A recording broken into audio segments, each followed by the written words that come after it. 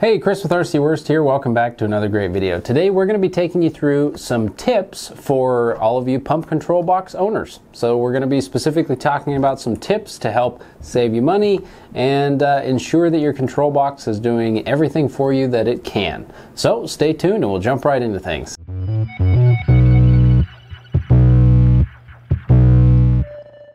All right, so tip number one involves a felt tip marker, and if you've watched our videos previously, some of these tips might have been repeated in some of the other videos, but since they're scattered out uh, and not everybody watches every video, we figure we'd consolidate them. So back again to the felt tip pen. Uh, it's very handy to use a marker to write down useful and relevant information either inside of your control box or on the front of the control box. It really doesn't matter. Um, obviously, if the control box is outdoors, writing on the exterior of the box is likely uh, going to wear away with time, but if it's indoors, you know, it's going to stay put for quite a long time. So you can put information, I would highly recommend putting amperaged information. So when you install new equipment, it's generally best practice to take a reading of the voltage, take a reading of the amperage, and then you want to write those down inside the control box that way, if anybody comes out to the field or comes out to your box at any point in the future and quickly can compare those with what readings you're getting, should you have a problem. In addition to uh, the amperage and voltage, you could write warranty expiration dates. It's recommended that you write uh, pump model numbers. That way you know what equipment is in the in the septic tank or in the uh, sump or wet well, etc. Uh, the main reason being is this equipment oftentimes lasts five to ten years if everything's designed and installed properly, and most people's memory can't uh, or doesn't work that well over that period of time when you're looking at model numbers. So just having it written down makes it super quick and easy. You can pop onto our website, punch in the model number, get the new pump ordered long before you have the plumber come out or someone come out and replace that pump for you, or you do it yourself. All right, so tip number two involves all of the documentation and paperwork surrounding your system. And I know this video is specific to control box tips, and the reason I've related it is because if it's an indoor installation, I'll actually like to put all of my documents, or at least a copy of all my documents, in a Ziploc bag, like a gallon bag, and just stick it to the wall right next to, above, uh, below, whatever, my control box.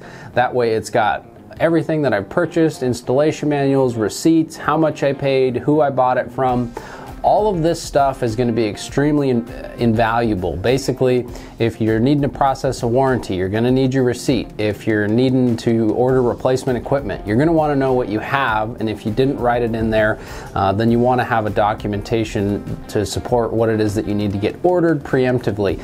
You can definitely save yourself two service trips by having the equipment on site for the installer uh, ready to go.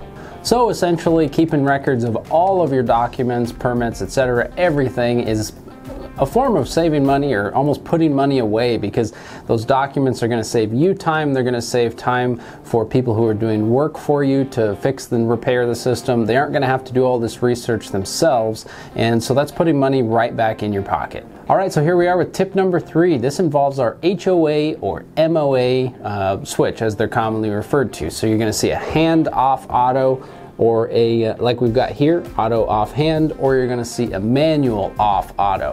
What that hand or manual means is that you can bypass the controls inside of here and essentially turn the pump on directly. Now, if you're having a controls issue with a float switch or something along those lines, Oftentimes, if you flip the switch down into the hand position, if you're experiencing a high water alarm, you can actually pump the liquid level in the system down to clear that alarm. That way you've got time between the alarm going off and another and a service technician coming out to take a look at the system or if you plan to work on the system yourself, it's always a lot nicer to work on a system that's not all the way full to the tippy top with sewage if you need to get in there, pull out the pump, check the floats, etc., etc. So, um, if you are in the case where the hand or the manual switch does not lower the liquid level, it's recommended to just go ahead and leave the system off until somebody's able to come out and take a look at it.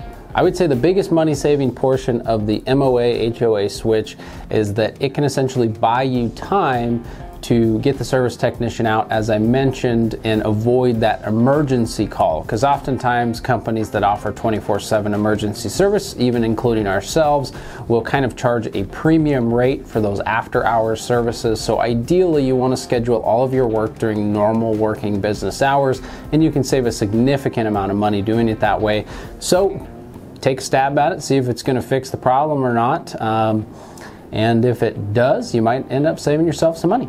All right, so here we are with tip number four. This is going to involve just a simple visual inspection. Now, a visual inspection doesn't require any special skills or uh, anything like that, so this should be something that almost anybody can perform on their own system.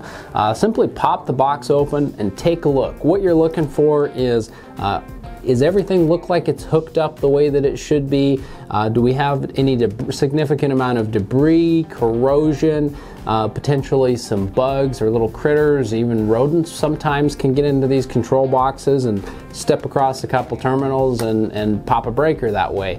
Um, so if you're experiencing problems with your system, having a look inside the control box could potentially give you some sense of direction of where the problem lies. If you open it up and your contactor's melted or uh, your wires are melted or something along that line, it's going to really paint a much clearer picture. So when you're giving a call to a technician, you can tell them what you're seeing. And again, you're going to save money because they're going to spend less time coming out to your site taking a look at the control panel, determining what the problem was, going back, getting materials, and then coming back again. Um, so you can save a lot of money and or if it's simple stuff and if it's stuff that you're comfortable with fixing, it's pretty easy to find part numbers on all this stuff, order the parts, and replace and repair it yourself should you be capable and confident in doing so. All right, so here we are with tip number five. Tip number five kind of relates to tip number four in that if you do find a bunch of debris, dust, rust, bugs, whatever inside of your control panel, um, it's recommended that if you do attempt to clean that, that you just simply use a shop vac with a relatively small nozzle so that you can get into the nooks and crannies as best you can. Uh, blowing air into a control panel could potentially cause that debris or dust or whatever to get lodged in smaller parts or components where it could cause a bigger issue than just simply using a vacuum to try to suck it out.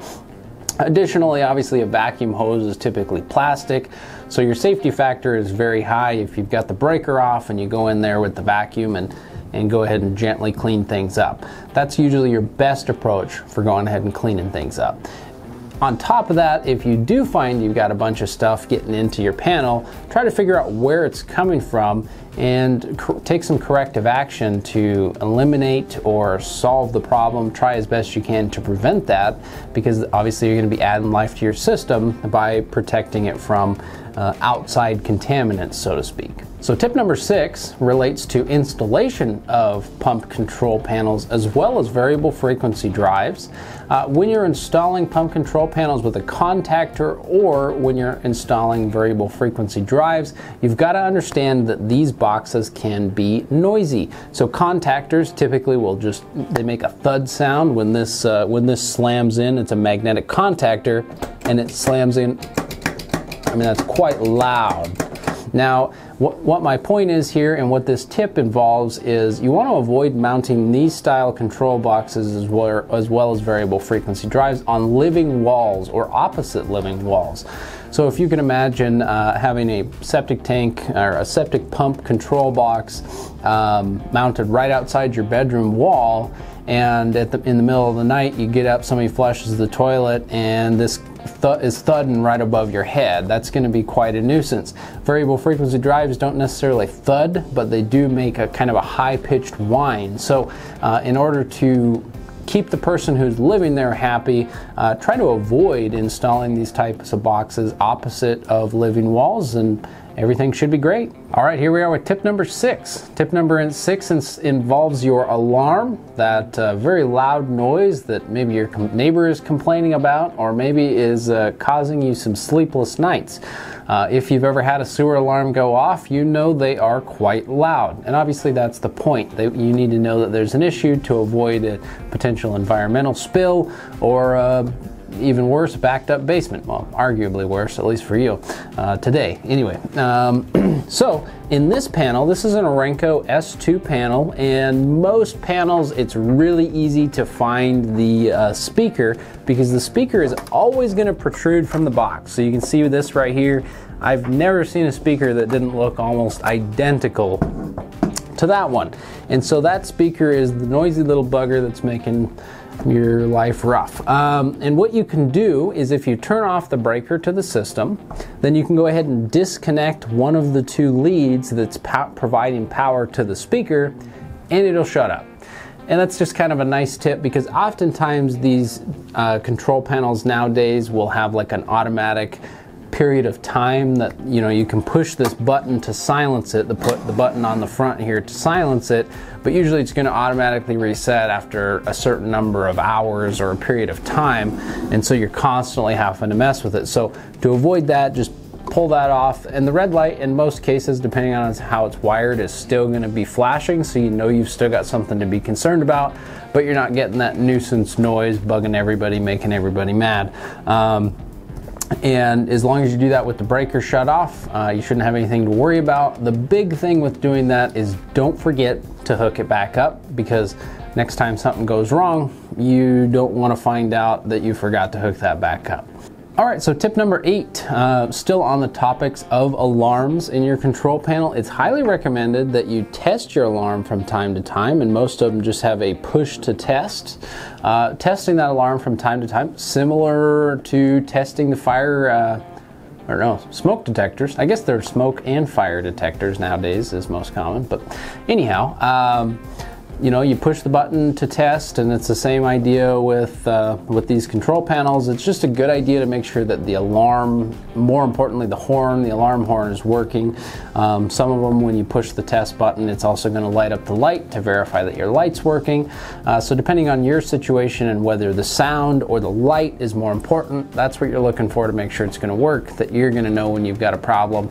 That way you can get it addressed quicker um, and hopefully save some money as opposed to wait until we have a big problem. All right, so working our way down the list here, tip number nine. So, an important tip here and something that often gets overlooked, especially for you homeowners who do these projects on your own. Uh, if you're replacing a control box, installing a control box, make sure that your incoming power, the conduit from, or not your incoming power, sorry, I misspoke. Make sure that your uh, power going to the pump is actually, you know, that you're going to have a conduit that's stubbed up into your box here. You want to make sure you're sealing that conduit off properly. You want to prevent any sewer gases uh, from getting up into this box because the vapors and the gases are going to cause serious corrosion in here and all the components are going to fail in short order. If you've got a more advanced or more expensive control box with a PLC or some sort of a programmable logic type controller, um, that condensation, the vapors, and everything is just going to wreak heck on the circuitry and it's not going to last. And, you know, that's easily $1,000 out the door. So it's just a good idea to have proper conduit sealing, you know, uh, something like duct seal or some other electrically approved uh, conduit seal is going to really help to protect this piece of equipment. So keep that in mind. All right, so here we are, tip number 10. Tip number 10 involves auxiliary alarm contacts. Many, many, many panels today either offer or by default have auxiliary alarm contacts. And basically what those are is they're a set of points that you can hook a alarm to, a remote alarm, and you could hook up a light, a speaker, or even some auxiliary alarm system. Um, heck, you, some of these you can actually even tie into your home security system to where you can be notified uh, whether it be remotely. So if your septic system is 200 yards away from your house for whatever reason, well, it might make sense to have a, a, a remote alarm a little bit closer to the house so that if something's going wrong, you know, it's not way too late before you finally catch on to it. So the auxiliary alarm contacts are that's what they're used for and I don't know that very many people that could take advantage of those are aware that that's a technology that's pretty commonplace. Um, and they can definitely be useful. I mean, it can put you in a situation where if you've got a larger home, uh, you could have your control box outside and have an auxiliary alarm inside in the basement or something. That way, you know, you've just got that extra level of security to respond to problems quicker because it's always, always, always the case that quicker is better when it involves repairing anything about your septic or water system or generally the longer you let it go, the more it's going to cost you. Um, so that is that tip. Moving on. All right, and here we are with our final tip, our bonus tip, if you want to call it that. But this tip is a big one, and I cannot emphasize this enough. So, generally speaking, pump control boxes offer you a few options when it comes to bringing power to the control box. And uh, this, po- this box in particular can be provided with one or two circuits. Uh, it's just a simplex box, and so you can actually separate the control circuits from the circuit that powers the pump directly and the biggest level of protection that you're getting there is that um, if your pump for some reason was to trip the breaker, whether it had a short to ground, seal failure, something along those lines, uh, if you're running on one single circuit, well, your alarm is also on that circuit, and you would definitely not get notified if the if the alarm is not getting power because the pump tripped the breaker.